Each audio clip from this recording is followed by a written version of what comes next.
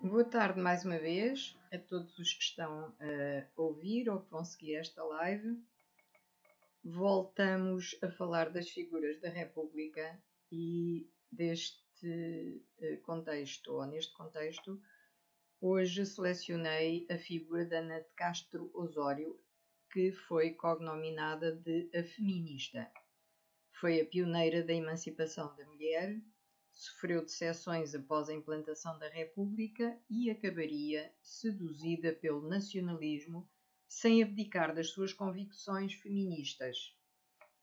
Ana de Castro Osório tinha 38 anos quando, em 1910, assistiu com as maiores esperanças e expectativas à mudança de regime.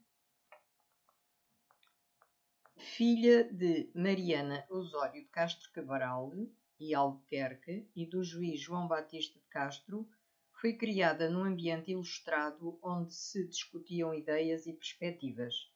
Cresceu também na convicção de que era urgente substituir a esgotada monarquia por um sistema republicano onde os ideais da liberdade, igualdade e fraternidade seriam implantados quer para os homens, quer para as mulheres.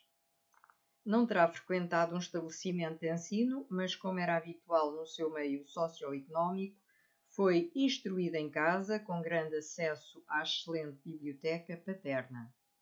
O poeta Camilo Peçanha declarou-lhe o seu amor, mas ela optou por casar em 1898 com Francisco Paulino Gomes de Oliveira, também republicano e escritor, residindo em Setúbal.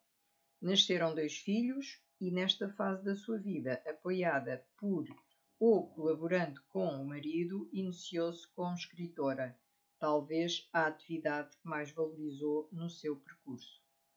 Assumiu-se também como feminista, pois desejava ardentemente um estatuto de dignidade e de oportunidade para as mulheres. João Esteves, um dos historiadores contemporâneos que têm estudado a situação das mulheres naquela época, identificou um número impressionante de escritos de sua autoria, Dicionário no Feminino, que foi publicado pelos livros Horizonte em 2005.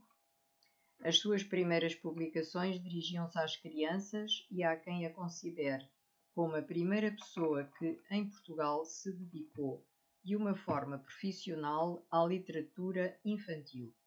Escrevia assiduamente na imprensa, apresentando e defendendo as suas posições políticas e sociais, e através de uma intensa atividade epistolar que também mantinha com Peçanha, ia criando redes de amizade e intercâmbio cultural e político.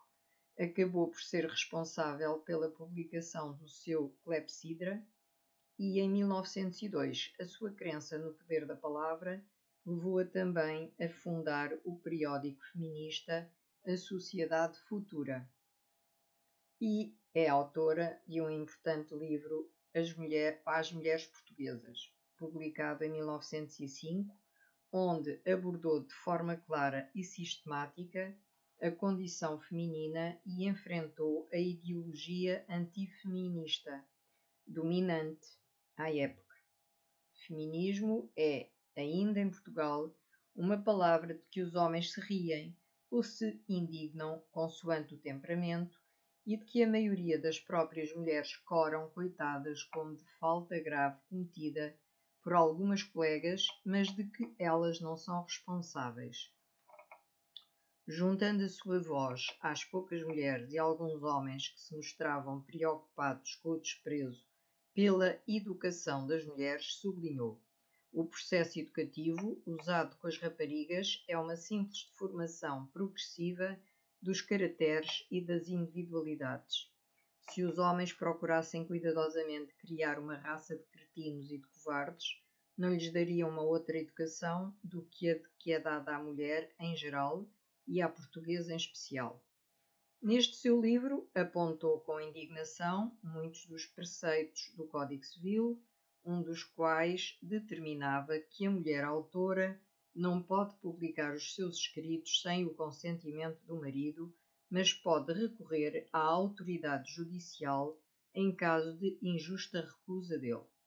acrescentou que a mulher não podia estar em juízo como testemunha cível e, em caso fuja ou fuga do lar conjugal, por lhe ser impossível a existência em comum, o marido pode mandá-la prender como a qualquer malfeitor e obrigá-la a retomar imediatamente no seu lar odiado o papel da mulher. Portanto, esta decepção republicana fê-la em 1907 iniciar-se na maçonaria na loja Humanidade, escolhendo o nome da revolucionária portuguesa Leonor da Fonseca Pimentel. Não havendo, portanto, hum, digamos que uma maçonaria feminina autónoma, as mulheres integravam-se em lojas de adoção, patrocinadas pela maçonaria masculina. Nesse ano também criou o efêmero Grupo Português de Estudos